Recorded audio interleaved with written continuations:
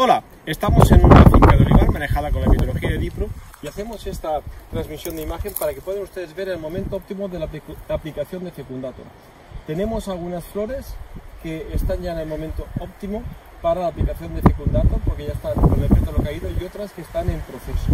Digamos, aquí habría una situación en la que la floración estaría en su punto neutral al 50% y sería el momento óptimo de hacer ya la aplicación de fecundator.